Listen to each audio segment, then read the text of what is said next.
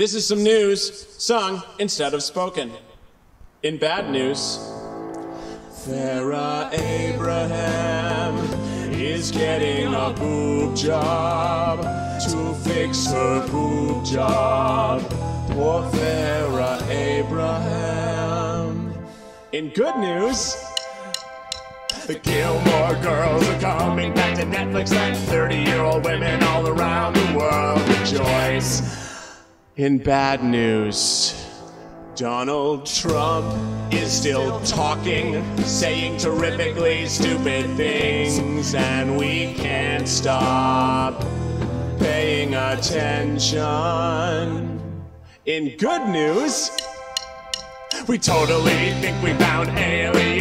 There's like a star and it flickers weird, so it's totally alien. It's like a superstructure, like a big old scaffolding around a star.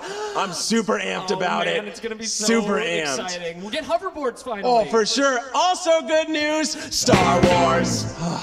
Took me six hours to get tickets, though. Oh, Yoda.